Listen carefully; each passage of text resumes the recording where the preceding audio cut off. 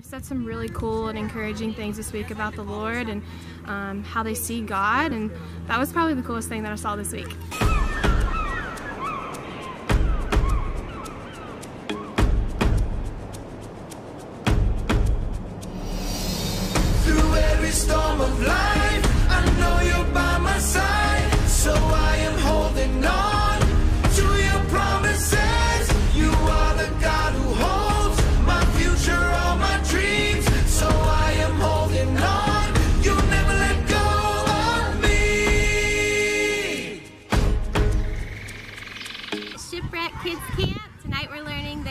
We don't have to worry that Jesus has got us. Jesus will come and rescue us. You showed the way when there was no